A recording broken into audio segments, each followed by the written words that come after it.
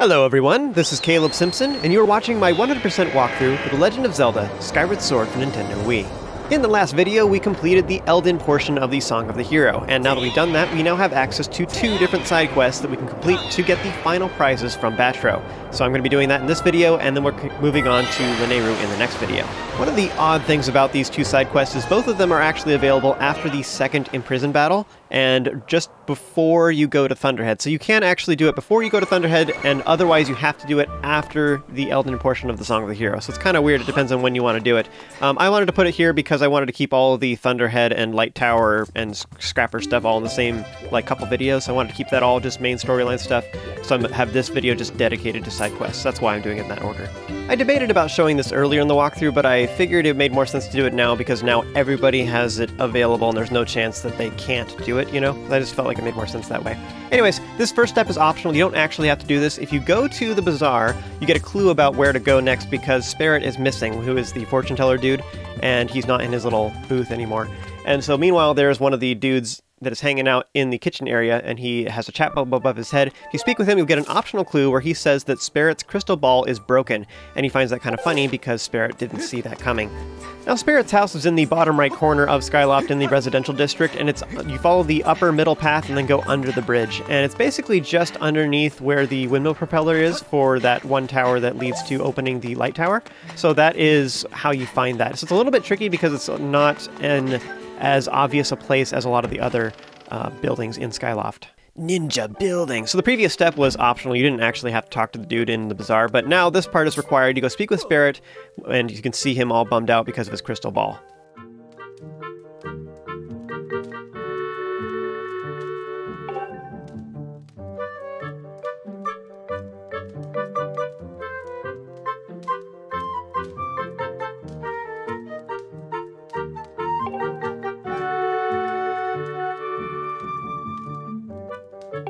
Oh!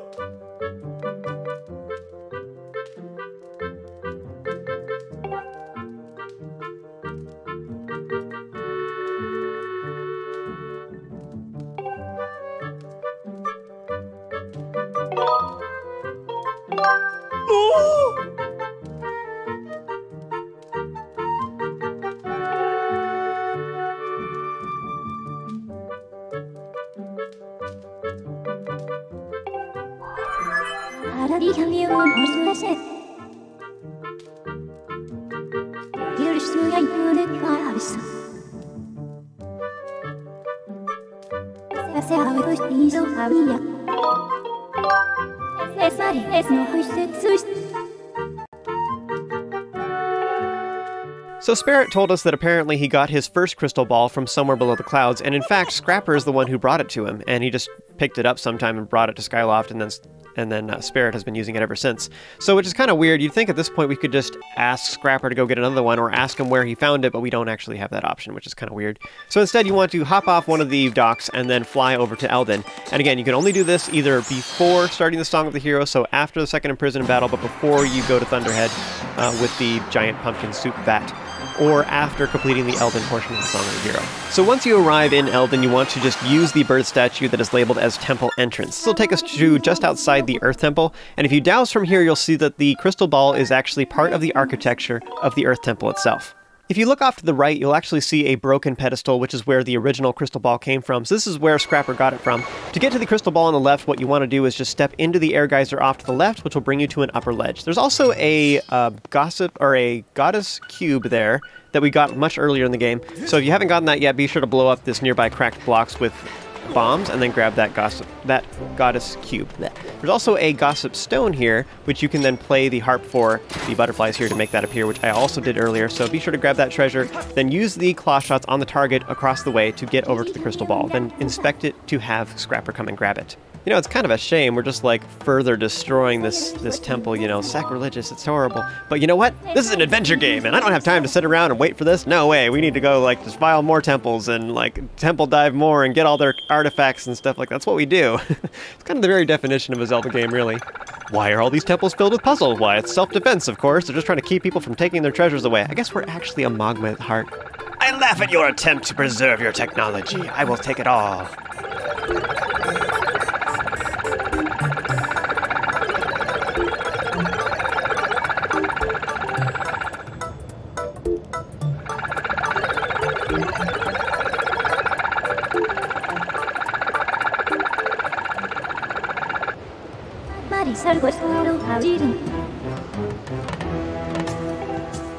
After the Master Short Pants comedy routine, you want to return to Skyloft and go back to Sparrot's house in the bottom right corner of Skyloft.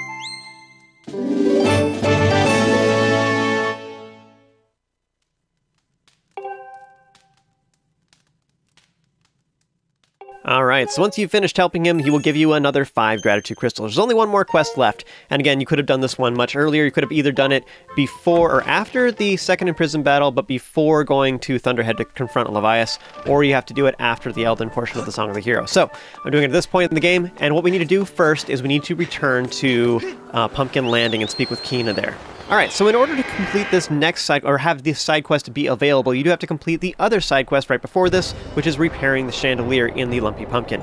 So in order to do so, you have to have all those other events already completed, which are breaking the chandelier by rolling into the railing of the upstairs area of Pumpkin Landing, and then speaking with Pumm, the pumpkin shop owner, to deliver pumpkin soup to Aegis in the training hall in Skyloft, and then you need to help Kina deliver pumpkins, where she's like moving back and forth, this little mini game thing. And then you have to play the harp with Kina, which is definitely the hardest task of those. So after you've completed all those things and gotten those heart pieces, you will be able to see this quest after, again, either after the second imprisoned battle or after the second or the Eldin portion of the Song of the Hero. So those are the requirements. I will try to remember to place some links to the related YouTube videos and put them in the description of this video. So if you are watching this at this point and you haven't completed those things, I will give you links to the videos that are related to that in my walkthrough and the timestamps or whatever so that you can go right to the point you're missing so you can complete that. So, once you have all those things done, and it's either after the second imprisoned battle or after the Eldin portion of the Song of the Hero, this quest is finally available. so, speak with Kina here on Pumpkin Landing, and she has a chat bulb above her head. She is looking for somebody who can help her hoe the pumpkin patch to get it ready for the next planting, and she's feeling lazy. She doesn't really want to do it, so she's hoping that you can find somebody who can do her dirty work for her. See what I did there?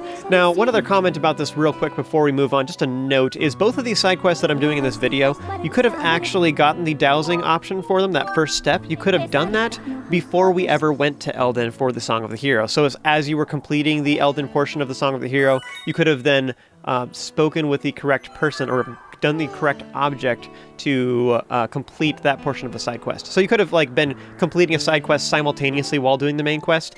Um, I didn't do it that way, and I separated it into a completely different video because I felt like it was less confusing that way. I don't like to like. I try not to refer people to previous videos, like like you know what I mean. They edit a video and they're trying to figure out what to do here, and they're like, oh no, I have to refer to multiple previous videos just to find the other steps of this side quest. And I try to avoid that as much as possible and just make it super clean cut, like all together. But yeah, if I, what I'm saying is that you could have spoken with either one of those people before you ever went to Eldin. You could have been doing those simultaneously, and it would have saved you a little bit more time. It's a little bit more efficient that way. Uh, but again, I didn't do it that way because I didn't want to cause any more confusion.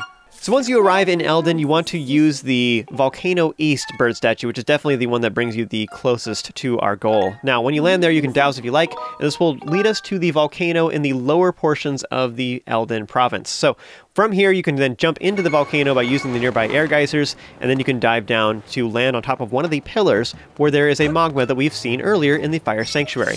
This Mogma is named Guld, and he is the old bro who helped us in the Fire Sanctuary. He had a clue about how to find the, uh, I think it's called the Mysterious Crystals actually, but the boss key basically.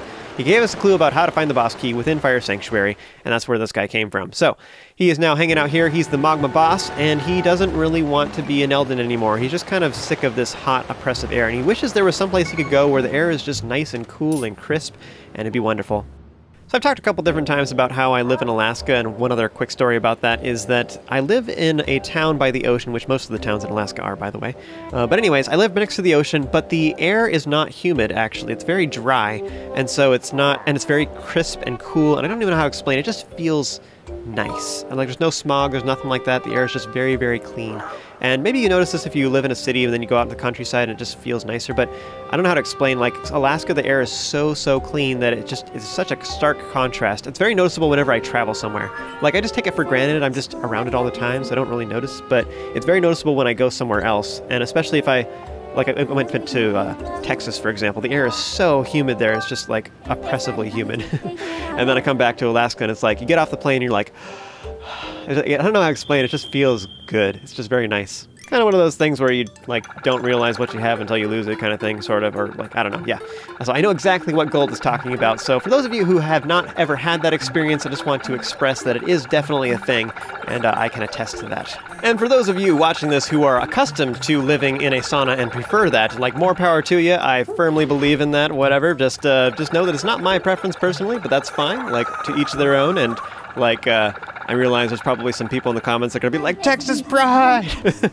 Death to the heathen. I guess that's kind of something interesting to idly wonder about. Is there people out there that like prefer humid air? Like, uh, I mean, I know there's people that just live there or like have grown up there or whatever, and they're just used to it and it's whatever. But I never, I don't know that I've ever heard of somebody preferring humid environments. Um, like, like I know, um, for example, in southeast in Alaska, that's all rainforest. Alaska's huge, by the way. There's five different climate zones in Alaska, which is crazy. It's like totally different. Um, anyways, in southeast, it's all rainforest, so it's all totally different. Like, it rains all the time. There's totally different plants and stuff there because completely different environment, totally different climate. Um, but I've never actually been there. My brother has, though. Uh, but yeah, like very, very humid there. The air is different, even though it's the same state. So after speaking with Guld, you can then take him to the sky, return to Pumpkin Landing, and we'll drop him off. And he'll, after a quick conversation, he realizes that apparently you're trying to sick him on digging holes, which is not what he signed up for. So he's a little bit annoyed at this. However, after Kina bats her eyes at him a little bit, he gets all excited because he thinks she's cute, and he's ready to go to town on working on the pumpkin patch. Sucker! And actually, this does bring up an interesting point because I bet you didn't know, think about this fact, but we actually have Mogma mitts. That's right. We are actually capable of completing this very same side quest ourselves. Luckily, Kina did not notice that, so we really dodged a bullet on that one. Or an arrow. There aren't really bullets in Zelda. So uh, I guess we just dodged the arrow anyways, or the cannonball. Projectile averted, either way. Oh, yeah. So Kina is super excited to be getting out of all that work, so she will then turn to you and give you five gratitude crystals, and she's just so happy to get out of doing all that work. So, if you've been following along with me, this should be your final patch of gratitude crystals, which brings us up to 80. So we now have all of the gratitude crystals in the entire game. So if you are missing some and you don't know where they are, I recommend that you check out the Gratitude Crystal side quest. I have a page for that that I made that's really fancy that has maps and stuff on the Zelda Dungeon website, and I also have a video of all of the Gratitude Crystals as well. So that's um, that is on the Zelda Dungeon YouTube channel, and I will have links to both of those in the description. If you like, you can also stick around to get some optional conversation with Kina and Guld, and they say humorous things, in particular Guld if you speak with him at night. So I'll show those clips right now. 哈哈哈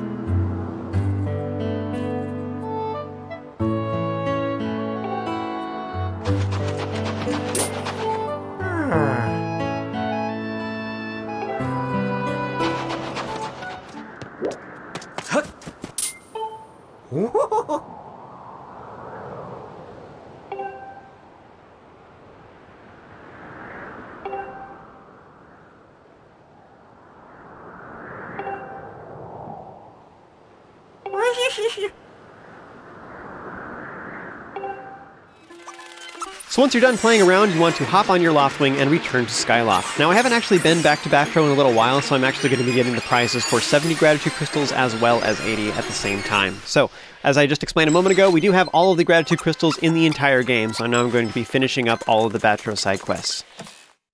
So at this point in the game, I haven't been back to Batreaux in a little while, so I'm getting the prize for 70, which is 2 gold rupees. Now, you should have more than enough room to hold this. Like, honestly, at this point in the game, if you've been getting the extra wallets in Beedle Shop and getting the upgrades from Beedle, then at this point you should be able to hold, I believe it's 6,900 rupees, which is a lot. So if you are completely full on that, that's, or if you're full on rupees, so you're wasting these potential gold rupees, I find that unlikely, but it is possible, I suppose. So if anybody really cares and you want to spend it on something else, then you could go do that. I suppose actually one good use for that would be to buy uh, treasure from the Moonlight Merchant, and I'll explain more about that towards the end of the game. But anyways, just as a comment, just in case you are worried about wasting these gold rupees. But yeah, that would be the thing. You'd have to be at your limit, which is 6,900 rupees, which is crazy.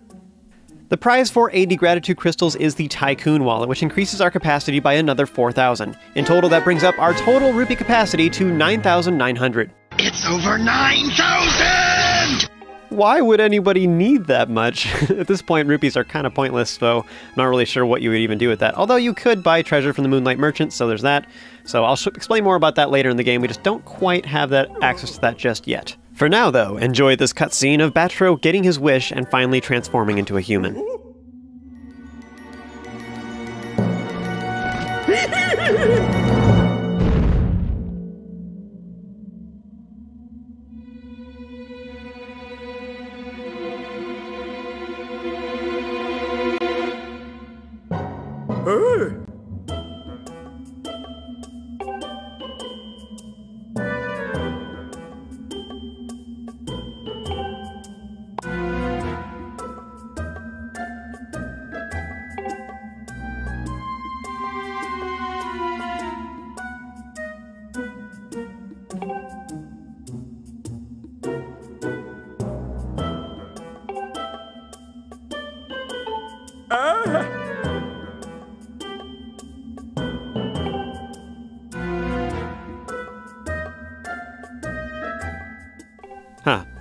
doesn't really look that different at all. In fact, he looks the exact same, but whatever, as long as he's happy. So as you leave, though, if you, after you complete, I believe it's the sand ship, and you get the second flame, which is Nayru's flame, I want to say. So after you get Nayru's flame, this will upgrade your sword to allow you to douse for more targets. And the next time you go speak with Batreaux, you will then, as you're leaving his house, you will then get the ability to douse for individual gratitude crystals, which is awesome.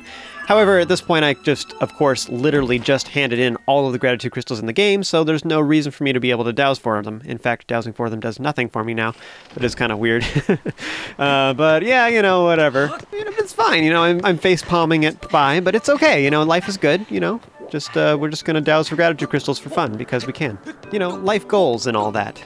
So from now on, you can find Instructor Horwell outside at night along with Mia, who is the headmaster's cat who was acting all evil and stuff like that. So he'd let her out, unfortunately, regrettably, and uh, he couldn't get close to her. But now he's apparently able to do so because she's all happy and cute and stuff all the time, which is wonderful. You speak with Horwell, he will also explain that all the other Remlits in town are also not evil, and all of the enemies that were in Skyloft are no longer here.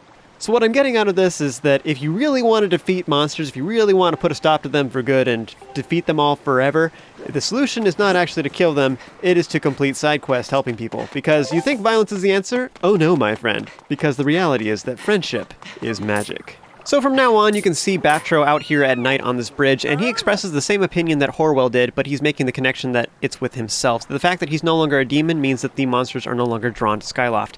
I'm not entirely sure if they were just like attracted to it and they just appeared, or if like his soul or whatever was like a miasma that soaked into things, like the Remlits, for example, how it made them evil at night. And so maybe that's what happened with all the monsters. Maybe they're actually like bugs, you know, horned rhino beetles or sky stag beetles and blessed butterflies and stuff like that, and they turned into Keese and chews and whatever. Just kind of a creepy thought, but you know, it's like that air quality thing I was talking about earlier. You know, it's like being around Batreaux is really bad air quality. That is some serious bo. Like, no wonder everyone's afraid of him, right? In all seriousness, though, that is kind of an interesting explanation for why there are enemies in the Zelda series. Like, they often show that in the credits. Like, after you defeat the big boss, whoever the boss is, whether it's Ganondorf or somebody else or whatever, that uh, the enemies all disappear and the Land of Hyrule is actually all peaceful again. So it's kind of an interesting theory as to why that is. So apparently, the very presence of a demon causes other demons to appear or something. It's an interesting theory, and it's kind of cool. Like again, like just just another example of Skyward Sword having just really gave us a whole lot of little like tidbits about the lore of how the world of Zelda works. It's kind of interesting, little things like that. If you're paying attention, there's actually a lot of little details like that that you learn by playing this game. The last thing I wanted to show is that if you go to the bazaar during the day, from now on you can see Batreaux here hanging out with the residents of Skyloft, and he is super excited to be able to make friends with everyone. So that's very nice and stuff. And whenever you talk with him now, he thanks you once again from the bottom of his heart. So that's all wonderful, and one thing I want to note back here is that behind him there is actually some more stalls that are covered up in cloth and stuff. I wonder if the originally the developers were going to have more shops, but just kind of interesting. Anyways, that's the end of this video, folks. Thank you so much for watching. As always, you guys have an amazing day, and I will see you next time. Per- perlers. Um, I'm not sure what those are. Oh, okay. Right. Who was it? There's somebody on ZD who does that a lot. Makes Pokemon. I think it's. They make Pokemon all the time. Oh man. I remember I did that in one of my uh, one of my comments or on YouTube. Somebody asked me a question, and it it made me think of I don't even know why. Just the way he phrased it made reminded me of a YouTube video I had watched. And how the video starts is that like, "Hey Jimmy, what's wrong? Did you ask that maid for some crystal water and he told you to suck on a Tornhoof? Well, have I got good news for you, Timmy?" And so I don't even know why. Like the way he said it, whatever it was he said, reminded me of this YouTube video. So I was like, well, hey, Jimmy, you know, in the comment. I just said stuff like that. Have I got a deal for you? Head over to this website and click on this link right about there. It'll take you exactly where you want to go. No need to thank me. I'm here for you, you know. I'm here for dot dot dot you exclamation point or whatever. so he replied, and he's like, "Wow, thanks, that was super helpful." He's like, "By the way, how did you know my name?" I'm like, I, I don't know. I was just being weird. Like, did you're, are you like? I think I, I think you're trolling me. I don't I don't trust this. You know. He's like, no, really, that's my name. like, yeah, okay, uh, sure. I have no idea who you are, dude. He's like, no, that's really my name. He's like, that's that's crazy. He's like, how'd you guess? I don't know. But that's what I always think of when people talk about the, you know, internet coincidences like that. Like, how did you know?